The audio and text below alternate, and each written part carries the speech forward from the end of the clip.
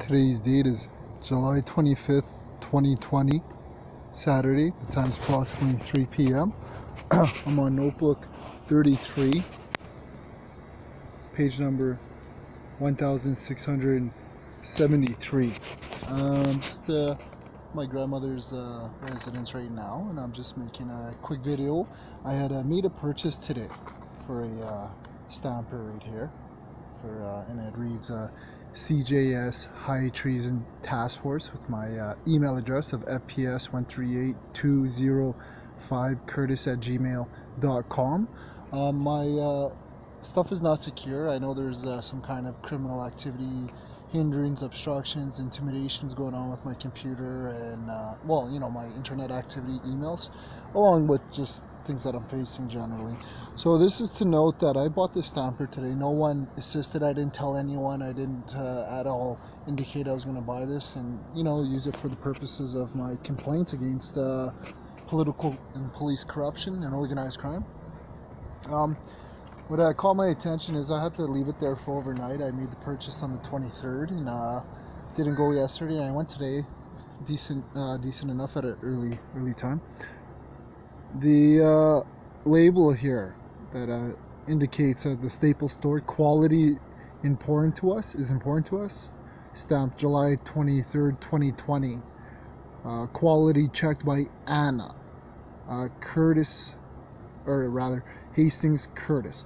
Uh, this uh, the hand printed source of of uh, the label concerns me, and I uh, I noticed that right away. As soon as I seen my name spelled, that uh, immediately I uh, thought of uh, a mail item. I don't have the original form anymore. It was uh, stolen from me at a Staples store just on Leila.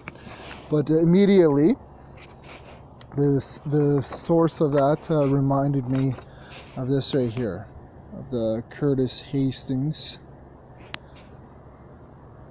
and uh, this one right here as well.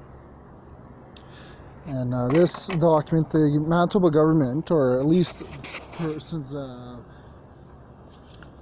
accepting the call when I was living on uh, Lorne, 101 Lorne Avenue, indicated that they did not uh, did not send out this material. They have no indications, and they uh, they weren't going to claim any responsibility for it.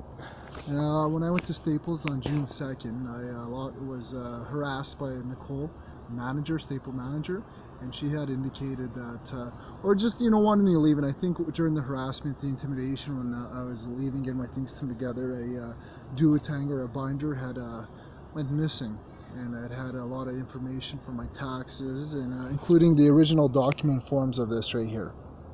So there's a lot of key documents and original signatures and pen signatures and letters that went missing in that. So, and the reason I bring that up is because right away I noticed this, and you know it looks like the same looks like the same person probably doing this. So I just want to make sure that I had this duly noted.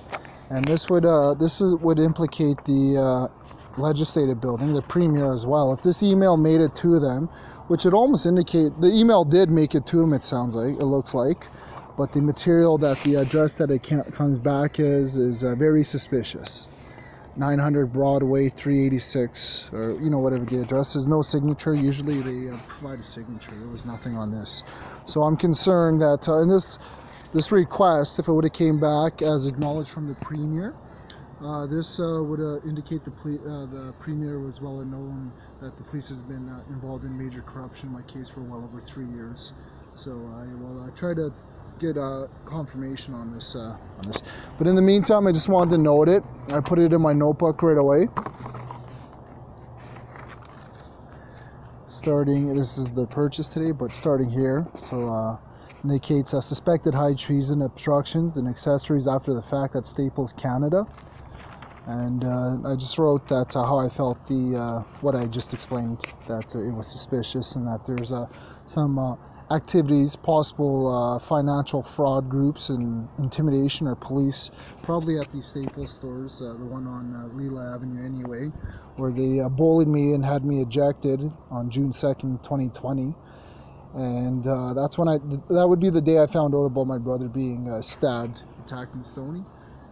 so this would be shortly after the Darius incident as well. So I'm concerned that where I'm going, people may be influencing the activities of uh, intimidation towards me. And at this point, I'm uh, pursuing complaints for conspiracies that are now mounting to uh, crimes against, well, you know, crimes against humanity, but high treason because I've uh, been making complaints to and about the Prime Minister and uh, several other uh, officials that would obviously ha- have the responsibility of making sure crimes against humanity do not happen on Canadian or North American soil, really. But I'm going to seal this up. I just want to show that uh, this is me, that no one should be in possession of this, no one should be able to, uh, you know, say this was theirs. There's no powers of attorney. And uh, more notably, I have uh, the original receipts here. And uh, oh yeah, and I just wanted to bring this out. This Erin Broham. I don't think she is exactly who she indicates she is, but uh, I don't. I didn't find any similarities in her uh, the pen, but uh, you never know.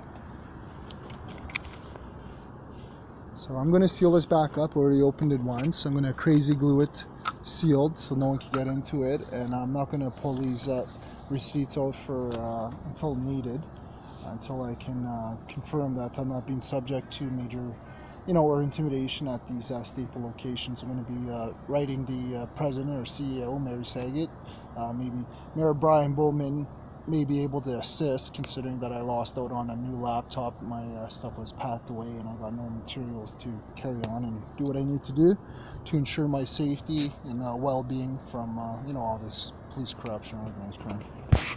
So, but I'm going to seal it up in here. I'll uh, leave it at that. I'll uh, signature it and, uh, and that'll be it.